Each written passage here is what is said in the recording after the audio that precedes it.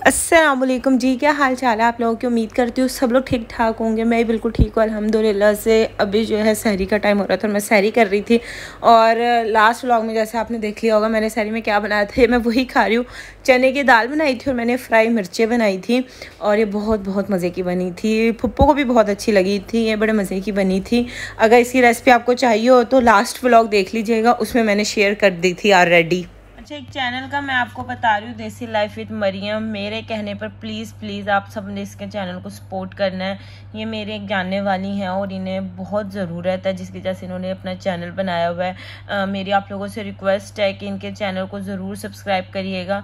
आपको इनकी वीडियोज़ बहुत अच्छी लगेंगी बहुत मेहनत करती है। हर किसी की कोई ना कोई ज़रूरत पीछे छुपी हुई होती है।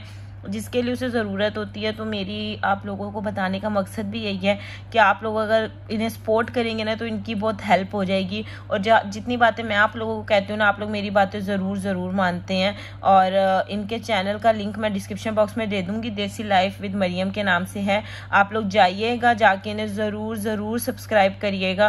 फाइव थाउज़ेंड फॉलोवर है, मैं जाके ज़रूर चेक करूँगी। आप लोगों ने जाके इनको ना ज़रूर सब्सक्राइब करना है कि इनके सब्सक्राइबर बढ़ जाएँ। और मेरी आप लोगों से रिक्वेस्ट है प्लीज़ इन्हें सपोर्ट करिएगा, इन्हें बहुत ज़रूरत है। रमज़ान वैसे भी महीना है कि हम एक दूसरे की हेल्प करनी चाहिए और मैं अगर आपको किसी चैनल का बता रही होती हूँ, अगर वो ज़रूरतमंद है तो वो वाकई होता है और मेरी रिक्वेस्ट होती है कि आप लोग फिर जाएँ, उन्हें सब्सक्राइब करें। अच्छा इनके चैनल पर आपको डेली लाइफ का व्लॉग मिल जाएगा और ये अपनी डेली रूटीन जो है वो शेयर करती हैं। कैमरे के सामने खुद नहीं आती, पर्दे में रहकर अपनी व्लॉगिंग कर रही होती हैं। तो आपने इनके चैनल को जाना है, ज़रूर देखना मैंने इनकी वाली वीडियो देखी थी, अर्क वाली।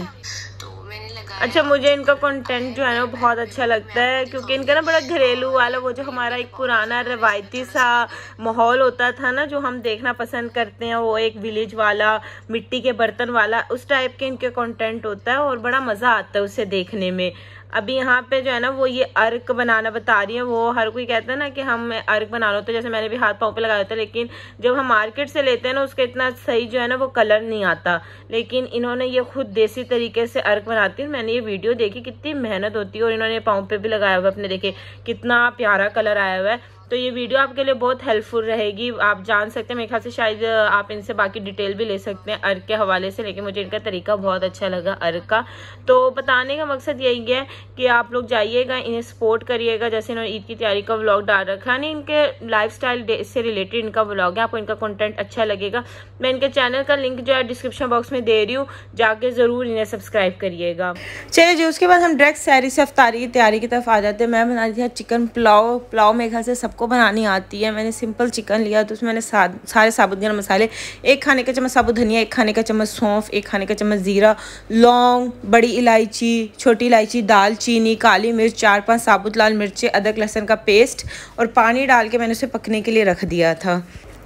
और यहाँ पे अभी भी मुझे पार्सल रिसीव हुआ था। ये ऑर्गेनिक एक्स का हर्बल शैम्पू है, जो कि मैंने मंगवाया था अपनी मदर इन लॉ के लिए। ये वाला एक शैम्पू जो है मैंने अपनी अम्मी को भी मंगवा के दिया था और एक अपनी मदर इन लॉ को। इस, ये हर्बल शैम्पू इसके रिज़ल्ट बहुत अच्छे हैं। मेरी अम्मी और मेरी फुप्पो दोनों को ही बहुत अच्छे लगते हैं।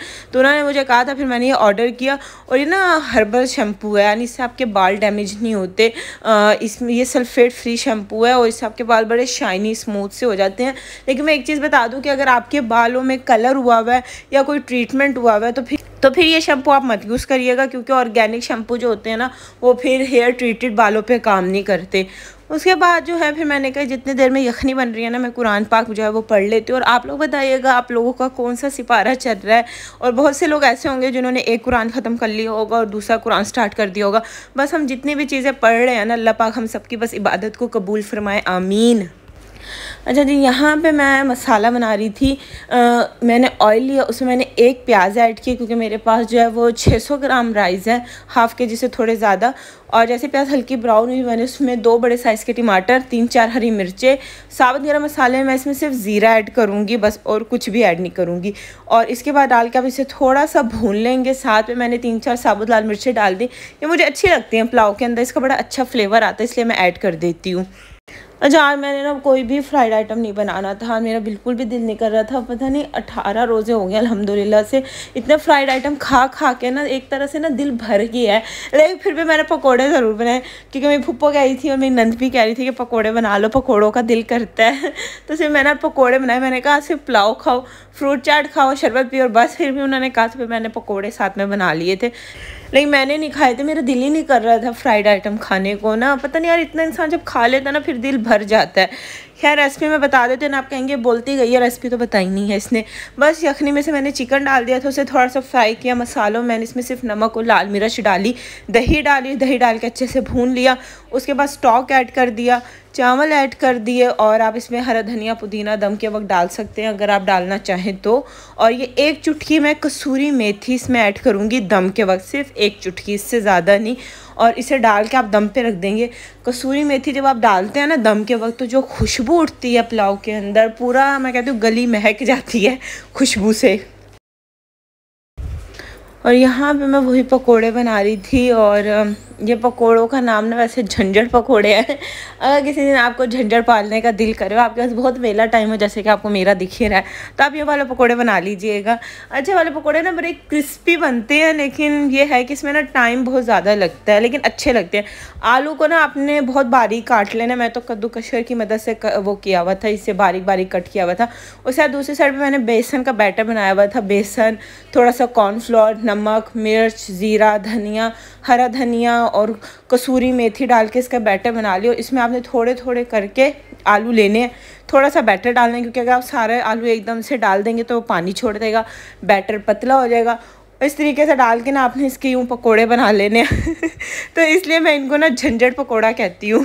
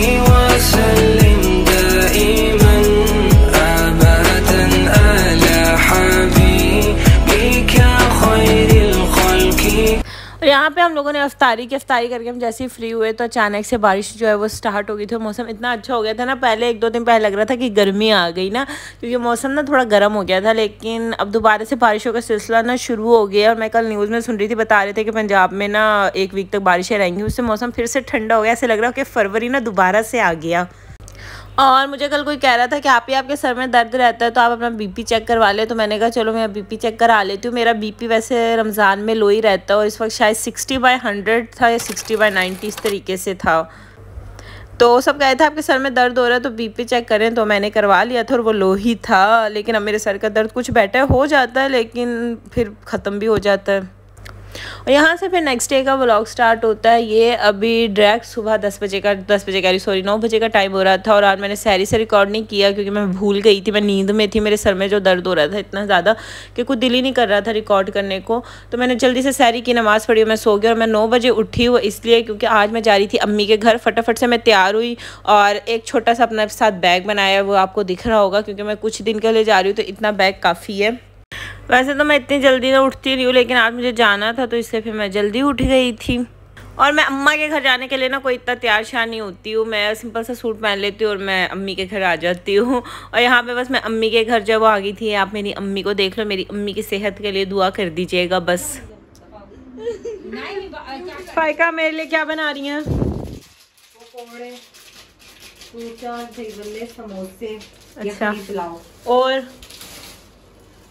और बस ये है। आपका रात को ऑर्डर कर दियो अम्मी आप और क्या मंगवाओगी मेरे लिए? और क्या? और समोसे? और वो समोसे तेरे ऑर्डर करवा अम्मी ना मुझे जलेबी मंगा के दो।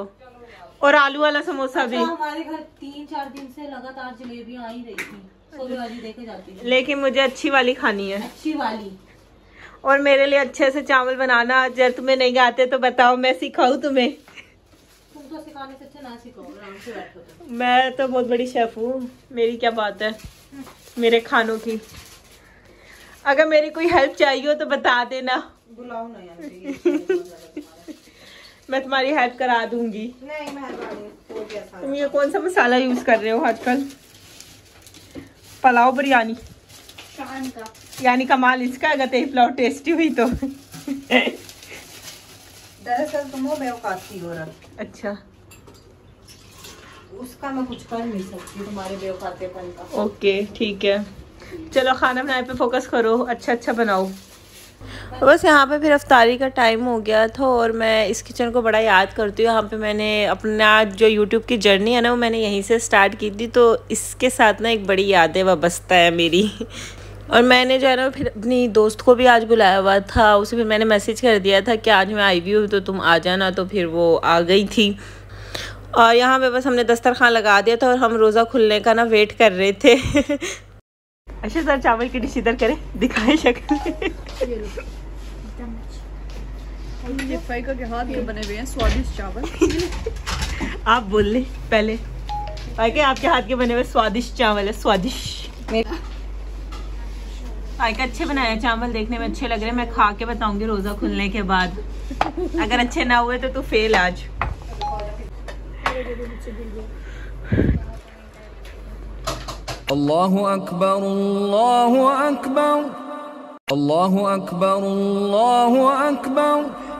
ये वाली अजान पे ना रोज़ा नहीं खुलता। सबसे पहले तेज है वाली अजान पे रोज़ा खुलता है। अच्छा बना हाँ। तुम अपने चावलों की खुद ही तारीफ़ कर रही हो? अच्छे बनाए अच्छे यार तुम दोनों। अभी नहीं अभी नहीं खुला। मैं मैं भी खजूर पर अभी हाँ हाँ खोल दे खोल दो। हाँ खुल गया अम्मी खोल लो। अफ्तार के वक्त जो है ना, वो शुगर मेला चलता रहता है, क्योंकि आज अफ्तार पे सब थे, मैंने अपने दोस्त को भी बुलाया हुआ था, वो थी, और फिर मेरी मामू की बेटियाँ आई हुई थी, वो मेरे साथ ही आई थी आज रहने के लिए तो साथ में वो थी फाइका थी तो इतने साफ़ जब मिल जाते हैं ना तो शुगर खुद ही चलता रहता है दस्तरखान पर। अच्छा मैं एक चीज़ बताती हूँ, जो हमारे घर में बनती है, वो है ये रमज़ों में चिकन की पुलाव, साथ में बूंदी वाला रायता। ये जो रिवाज था ना, अपने घर में रमज़ान में मैंने निकाला था, और हर अल्टरनेटिव डे पर मैं बनाती थी, और बड़े शौक से खाते थे, और आज मैं आई हूँ तो मेरे लिए, अम्मी ने ये बनवाया है। तो खैर, बस यही आज का ब्लॉग तो उम्मीद है आप लोगों को अच्छा लगा होगा। अब आपसे जी नेक्स्ट वीडियो मुलाकात होगी। अपना ख्याल रखिए, खुश रहिए जी। अल्लाह हाफिज़।